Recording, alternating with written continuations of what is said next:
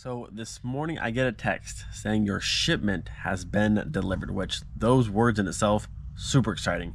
Come out into the garage, we got a whole pallet full of goodies and look who it's from.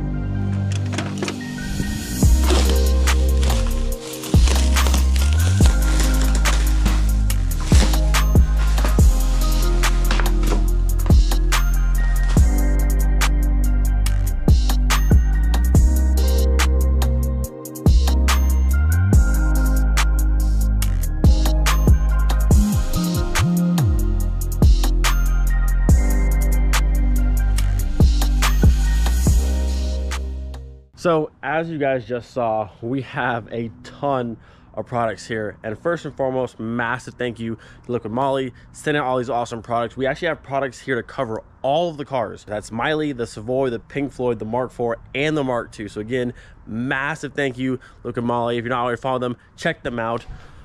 But look at this stack right here. So the bottom three, three different types of oil, and on top we have MOS2 anti-friction. We have motor oil saver here, Proline engine flush, and the Ceratec. I'm be honest with you guys, the top boxes here, I have no idea how to use, but we're gonna learn, and I'm just super excited to have all this great products for this car, for that car, the other three Mark IIIs. All of them will be getting taken care of very nicely.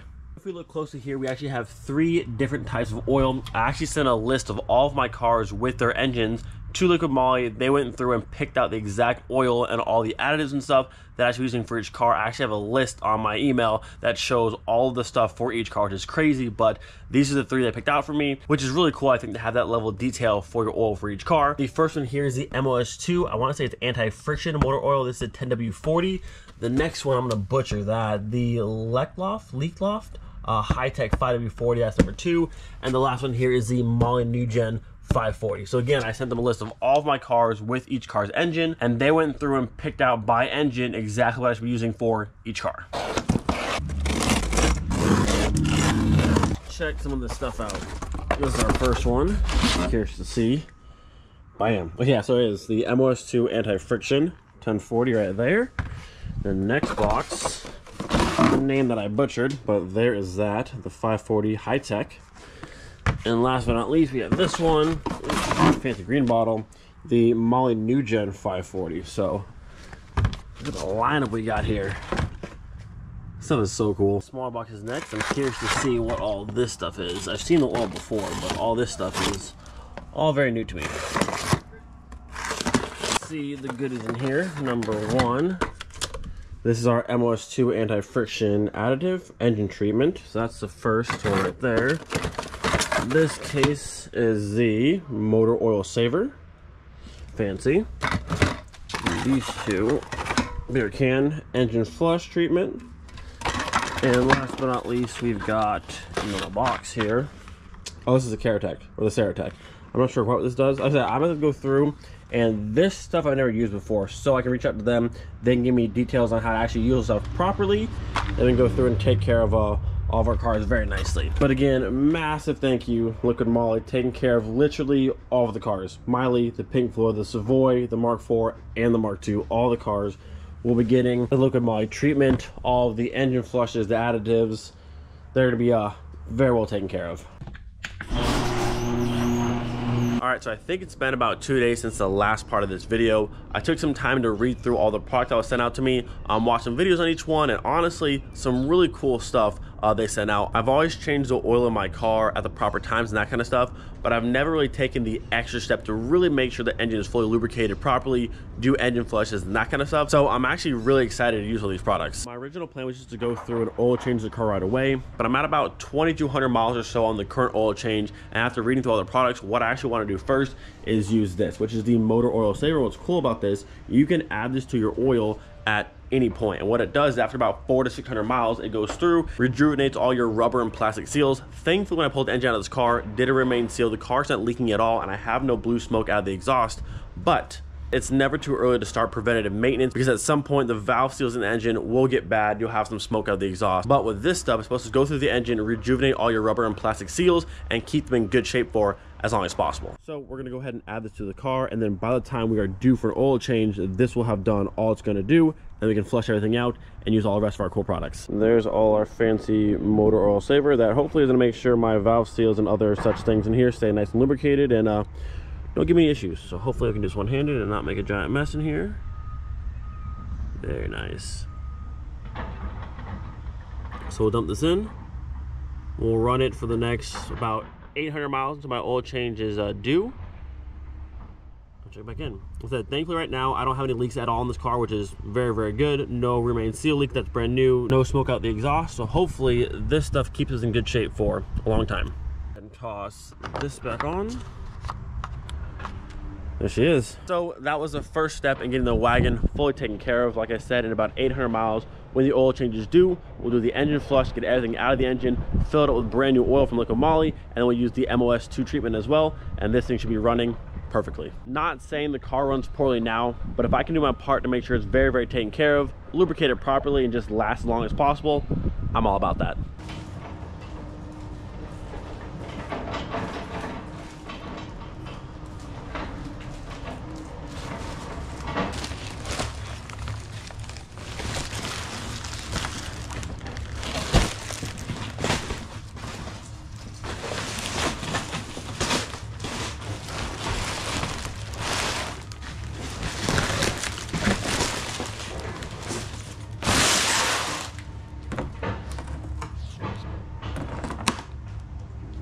So very exciting stuff. Today, the Zender front bumper is heading to the paint shop because this does need some body work, some spots here. These pieces down here kind of rough. And then over in this corner, there's a little bit of a, a, gouge right there. But this is heading to the body shop today and getting prepped. And then next week, the rest of the pieces, the side skirt, uh, the rear lip, my Euro rear hatch is all gonna go to paint as well.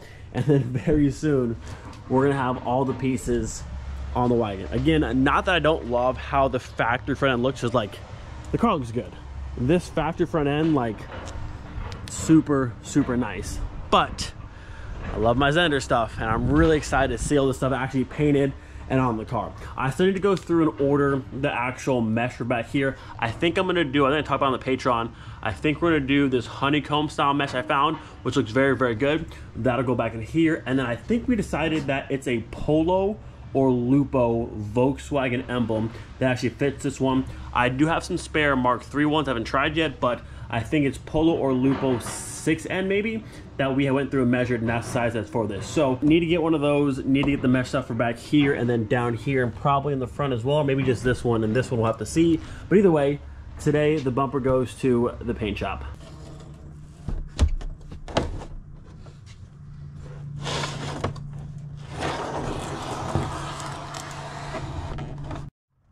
Wagon life is the best life, and no one will ever tell me otherwise. Just, it's just the best life, you know?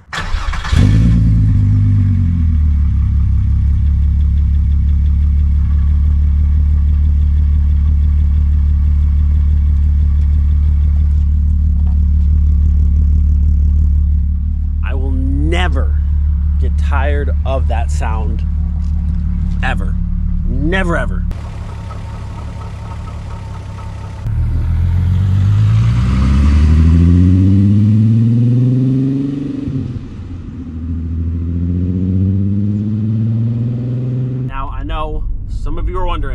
Christian, did you actually leave your camera on the side of the road as you drove away? And the answer is no, I did not.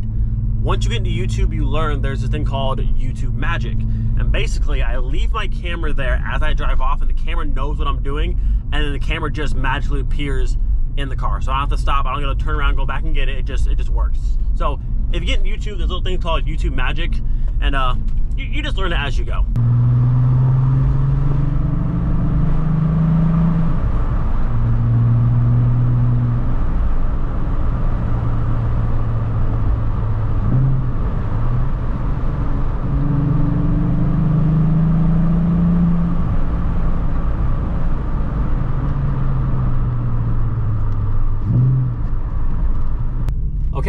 So approximately eight minutes later, we have made it to Jack's shop, which is so convenient that his shop is so close to my house. I could walk here, be about eh, 30 minute walk, but I could walk here. That's how close the shop is, which is So nice. Touareg, Mark II, and Mark III.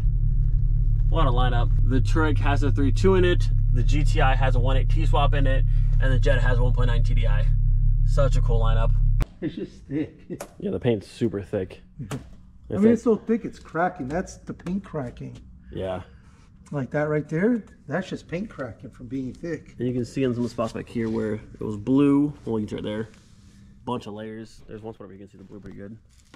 There's the blue, and now it's coming with like silver, but it's yeah, it's it's thick. Yeah. So it's a it's a beefy bumper, Yep.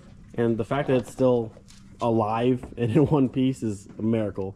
It's got some uh some dings here and there, but it survived. It's a survivor. It's been a lot of places. It's been UK. It's been all over the world, and it's, yeah, it's still one piece, thankfully.